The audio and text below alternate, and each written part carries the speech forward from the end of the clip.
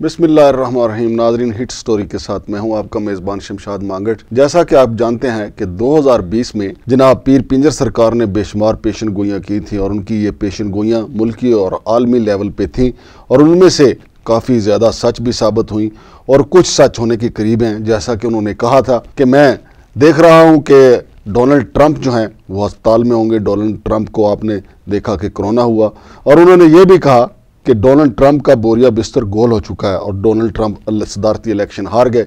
इसके अलावा उन्होंने कहा कि मैं मियाँ शहबाज शरीफ को जेल में देख रहा हूँ और मियाँ शहबाज शरीफ जेल में हैं। फिर उन्होंने ये भी कहा कि मरीम नवाज़ भी जेल जाएँगी। 2020 में मरीम नवाज़ भी जेल गई।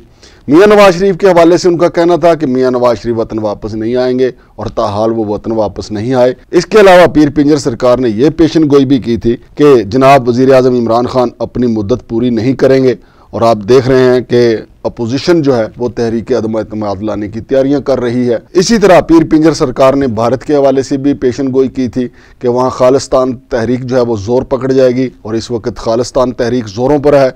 और इम्कान गालब है कि सिख बरदरी जो है, सिख जो हैं सरदार जो हैं, वो अपने लिए अलग मुल्क लेने में कामयाब हो जाएँगे। तो जनाब, पीर पिंजर सरकार ने 2021 के आगाज़ में पूरे साल के लिए ताज़ा तरीन जो पेशन गोइयाँ की हैं, वो आपके सामने पेश करने जा रहा हूँ, ताकि आप भी सुन लें कि पीर पिंजर सरकार 2021 को किस नज़र से देख रहे हैं। पीर पिंजर सरकार का दावा है कि गजवा हिंद कारगिल से शुरू हो चुका है। कुफर का सर कुचल दिया जाएगा, बड़ी जंग दिखाई दे रही है। भारत किसी तरह से सर्जिकल स्ट्राइक करने का इरादा रखता है, और वो करेगा। और मुँह की खाएगा। और भारत के अंदर उन्नीस से भी बड़ी एक तहरीक उठती हुई नज़र आ रही है। और भारत तीन टुकड़ों में तकसीम होकर रहेगा। उनका कहना है कि पहले भारत का दुश्मन सिर्फ़ पाकिस्तान था। अब चीन, भूटान, नेपाल, बांग्लादेश, श्रीलंका और सबसे बड़ा दुश्मन सिख तंजीम को समझा जाता है। अब खालिस्तान तहरीक ज़ोर पकड़ती दिखाई दे रही है। पीर पिंजर सरकार का कहना है कि खालिस्तान की आज़ादी का सूरज तुलू होने वाला है। मोदी के खिलाफ फौज भी कार्रवाई कर सकती है। उसका तख्ता उल्टा जा सकता है। भारतीय सुप्रीम कोर्ट भी मोदी के खिलाफ फैसला दे सकती है। पीर पिंजर सरकार का कहना है कि भारत और मोदी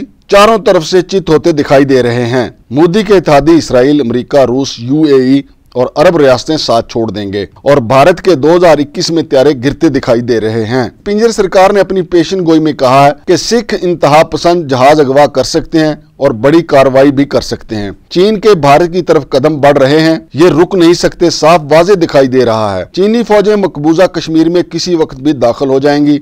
मकबूजा कश्मीर की आज़ादी में चीनी फौजें और हुकूमत पेश पेश रहेंगे। चीनी फौजें और पाकिस्तानी फौजें किसी वक्त भी दिल्ली पर कब्जा कर सकती हैं।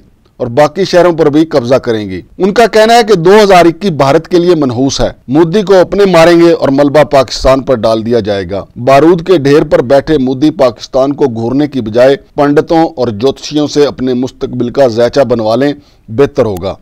2038 तक भारत से हिंदू मज़हब का मंदिर और बुतों का सफाया हो जाएगा। अमरीका, बरतानिया, फ्रांस तलबीब पर मिसाइल गिरते दिखाई दे रहे हैं। उन्नीस सौ इकहत्तर जैसा सानिया नहीं होगा, खाना जंगी नज़र आ रही है। जजेज इमरान खान और मौलाना हजरात अपने हिफाजती दस्तों पर तवज्जो दें। अब आवाम की कुर्बानी नहीं होगी, बड़े सर कुर्बान किए जाएँगे, बड़े मगरमच्छ गिरफ़्तार किए जाएँगे। पाकिस्तान का मुस्तकबिल रोशन और पाकिस्तान टूटने के लिए नहीं, बल्कि तारीख बदलने के लिए बना है। पाकिस्तान की मंजिल इस्लामी सदारती निज़ाम, कातल का सर कलम चोर के हाथ काट दिए जाएँगे। पीर पिंजर सरकार का कहना है कि 2021 पाकिस्तान के लिए खुशहाली ला रहा है। महँगाई में कमी दिखाई दे रही है। उनका कहना है कि 11 जमातों का इतिहाद पीडीएम टूटता दिखाई देता है। बड़े बड़े सियासतदान, ब्यूरोक्रेट, फौजी अफसरान, मौलवी हजरात जेल जाते दिखाई दे रहे हैं। नवाज़ शरीफ इसाकडार पाकिस्तान वापस आएँगे। बेशुमार सियासी पंछी वतन लौट आएँगे। एहतसाब का अमल तेज होता दिखाई दे रहा है। शबाज शरीफ रिहा कर दिए जाएँगे और दूसरे केस में फिर अंदर हो जाएँगे। ख्वाजा साद मोहम्मद रफीक, एहसन इकबाल और राना सनाउल्ला जेल जाती दिखाई दे रहे हैं।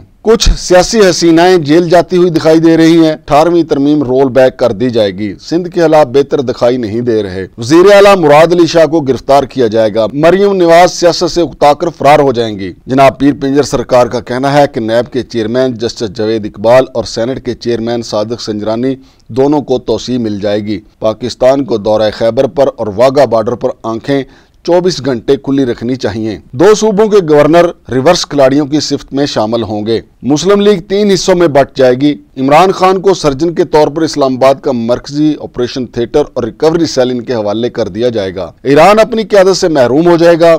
मशरक वस्ता से एक आग का गोला उठता दिखाई दे रहा है और यूरोप को परेशान कर देगा। एशिया के पहाड़ आग उगलते दिखाई दे रहे हैं। जापान और रूस को चीन की चौखट पर दस्तक देते देख रहा हूँ। अफ़गानिस्तान में अशरफ गनी की हुकूमत खत्म हो जाएगी। तालिबान पूरी पावर में हुकूमत बनाते दिखाई दे रहे हैं। पाकिस्तान सानिया मदीना सल्तनत की तरफ़ बढ़ता दिखाई दे रहा है। पाकिस्तान माहरीन हरब के हाथों में मज़बूत दिखाई दे रहा है। फौज, अदलिया और अवाम एक पेज पर हैं। चीन दुनिया की क्यादत करेगा। यहूदी किबला अव्वल को बम से उड़ाने की कोशिश करेंगे। पाकिस्तानी अदलिया करवट बदलेगी। बड़े बड़े सियासतदान नवाज़ शरीफ की तरह नहल हो जाएँगे। पाकिस्तान की सियासत मारत के बाद नए मोड़ में दाखिल होगी। मार्च का महीना हुकूमत के लिए फैसला कन साबित होगा। दो हज़ार चौबीस के बाद तीसरी आलमी जंग छिड़ जाएगी। कुफर की शिकस्त अटल है। नाइन अलेवन की तारीख इसराइल में दोहराई जाएगी। इमरान खान, साथियों की साजिशों से होशियार रहें। जरदारी गिरफ़्तार होंगे या जेल जाएँगे, नहल भी होंगे और पैसे भी वापस करेंगे। एक बात का ख्याल रहे, जेल में सिंध कार्ड रिमोट कंट्रोल साथ ले जाएँगे और दिखाई दे रहा है जरदारी और बिलावल से सिंध का कार्ड छिन जाएगा। बिलावल भी गिरफ़्तार होंगे और जेल जाएँगे। पाकिस्तान एक बार फिर इस्लामी सरबराही कॉन्फ्रेंस की मेजबानी करता दिखाई दे रहा है। पाकिस्तान चीन की शारग है और वो अपनी शारग कटने नहीं देगा। चीन और भारत के सरहदी इलाके से तीसरी जंग अजीम शुरू होगी। और भारत मुसलमानों के जेर तसलत होगा। मिड टर्म इलेक्शन दिखाई नहीं दे रहे रेफरेंडम होता दिखाई दे रहा है। इमरान खान मुस्तबिल में अहम कौमी रहनमा साबित होंगे।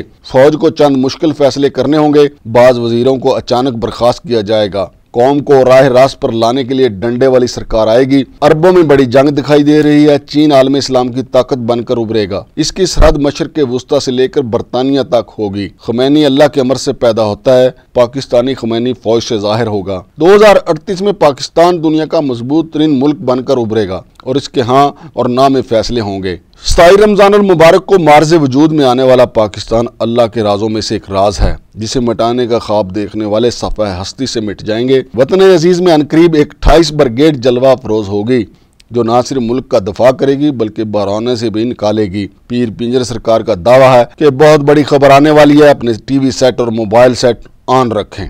शमशाद मांगड़ को इजाज़त दीजिए, अल्लाह हाफिज़।